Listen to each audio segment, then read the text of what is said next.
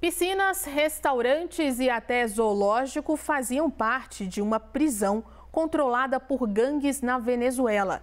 A penitenciária de Tocoron, uma das maiores do país, era comandada diretamente pelos presos. Muitos faziam parte de uma poderosa gangue. A Força Nacional Venezuelana fez uma operação com mais de 11 mil soldados e retomou o controle da prisão na última semana. No local, o grupo construiu um verdadeiro paraíso para os detentos, com piscina, diversos restaurantes e até um zoológico. As autoridades também apreenderam armamentos. Parte dos presos foi transferida para outras penitenciárias.